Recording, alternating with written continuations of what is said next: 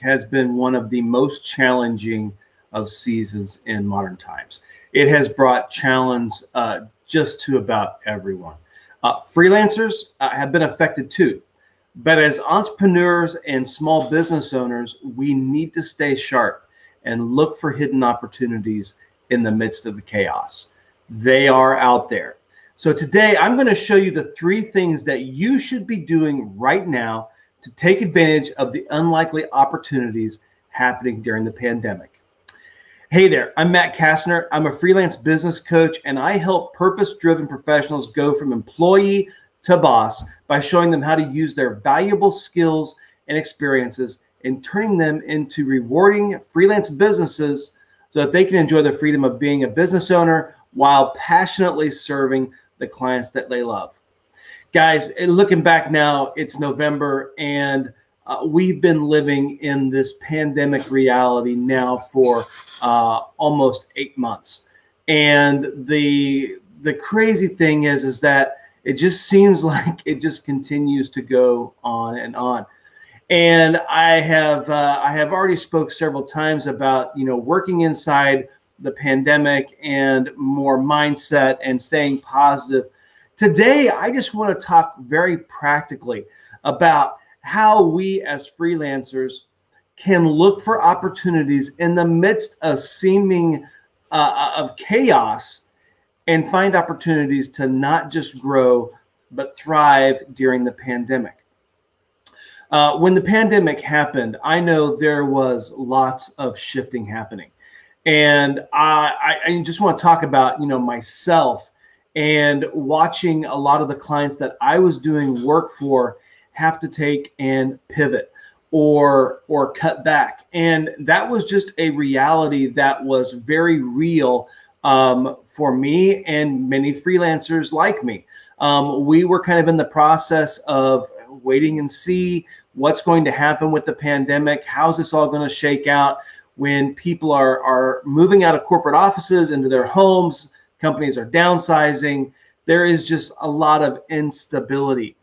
We're kind of, uh, you know, through some of that main shakeup phase and now we're kind of into the settlement phase and, and a little bit of kind of you know what's on the the corner ahead uh, where's things going to go from here but what's the current state of affairs and what should i be doing as a freelancer so i want to talk to you just a little bit about um, what life has been like for me over the past several months i have seen uh, a lot of interesting things happen since the pandemic has began.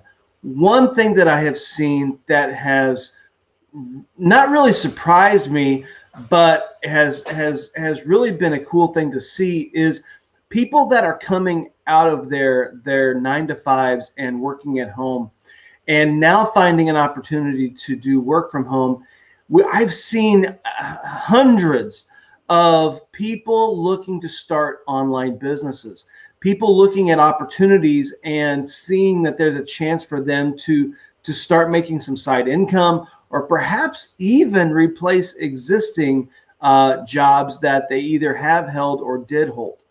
And so today I want to talk to you about three very important things that I think we should all be aware of now that we're kind of in this settlement phase of the pandemic and start looking for opportunities to grow our business because guys trust me they are out there. Um, we need to uh, elevate our thinking be behind you know you know above you know this is just a bad situation and and realize that life is going on there are things happening around us and we need to be paying attention so one of the things that i want to share and so this is this is the first thing i want you to know is that I want you to be acutely aware that there's this big ground shift that's happening in the labor market.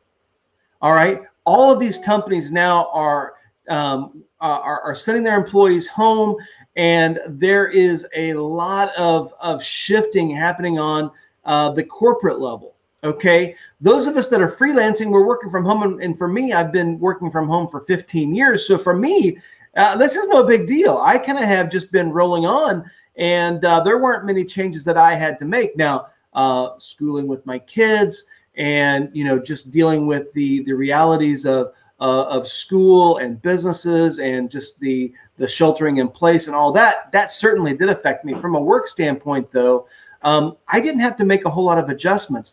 But for the vast majority of corporate america they have seen tremendous change happen. And uh, what that has done is it's created this whole new economy of home based workforce. Okay. So the first thing we need to remember is that if you're a freelancer, you've already got a leg up. You've already figured out the systems and you know how to work from home efficiently. Okay. So that should give you a little bit of comfort. You've already figured out some of the biggest pieces um, that are challenging work from home employees right now. Some people can't stand it and are ready to get back into the office. Others are thinking it's not such a bad idea, but they've got to figure it all out. They've got to figure out what it's like to work by themselves independently and be productive. Okay. So for you, I just want to say that is a huge benefit that you are already conditioned and used to being at home and being productive. Okay. Number two, I mentioned earlier that I have witnessed this groundswell of online business owners trying to start businesses. Okay, people who are at home now, who have a business idea, who are trying to get it off the ground. Now, these are people that uh, some some are trying to create side hustles, some are trying to create real businesses, and they are in desperate need of people with professional skills to help them launch their businesses. Okay, you've got people that are trying to launch a product, whether it's virtual, whether it's a physical product, and they need help with writing, they need help with marketing, they need help with branding, they need help with website design, with e commerce store construction. They need help from a variety of different ways. Many of these people have no idea where to start. All they know is they have an idea, and there are people all over that are uh, trying to get something started. So there are opportunities for us to be able to connect with these new small business owners and be able to provide them with some services. Okay, now in in today's economy, you're probably not going to find all of your income in just one of these customers. You're probably going to have to find several. But the fact that there are some out there, and there are some out there that are really willing uh, and have some financial resources to be able to pay there are some opportunities. Um, a friend of mine um, who lives in Texas, uh, she has a retail store and she has been employing people left and right because she has taken her store online and has needed help to help her growing business. She did not need help in her retail store, but she needed help in her online space because it was growing so much because she had shifted um, because of the pandemic. So you've got these retail business owners as well that are looking for an online way to to expand or to keep their business alive, and they need help. They need us. Okay, so reach out to your chamber of commerce. Reach out to a local network, get online, get in a Facebook group, and start talking with people. That is my number three recommendation. Don't sit still get out there and start making some connections talk to your retail friends talk to your store owner friends that are that are trying to pivot in the pandemic find facebook groups where people are trying to get an online business sorted out and offer yourself as an expert in whatever field it is that you do work in and start answering questions start lending a hand and you're going to start creating a uh, a platform for yourself to be accepting new work. Okay. Guys, there's opportunity. We just have to realize that this that this uh, this season of this pandemic has created some very unique business opportunities. And the way things are settling into reality is that we've got this displaced workforce that is now trying to create some opportunities. And we have some retail storefronts in our communities that are trying to pivot and uh, you know trying to keep their doors open but trying to shift their business online and each of these these these groups need professional services like you and I can provide all we have to do is start talking to them Start providing them with some support and answers, and the work will come. Trust me. All right. So, number one, the one thing I want you to remember is hey, this shift is happening and it's affected everyone. And as a freelancer, we have some advantages because we've already been working at home. We know how to be productive and we're ready to go. We're ready to start working right now. Number two, there has been a huge groundswell of online business opportunities, whether new startups or uh, existing businesses that are pivoting uh, because of the pandemic.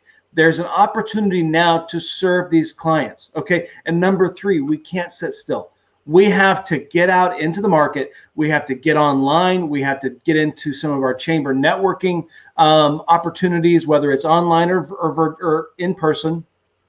Start meeting people. Start offering, uh, start offering yourself as an expert, helping people solve problems. Once you start to solve and start answering people's questions, they will start to realize that you have some skills, that you are an expert in your field, and then they will want to partner with you to become a part of their business. Okay. Trust me, there are opportunities out there. We just have to be looking for them and be willing to go out and get them. Okay.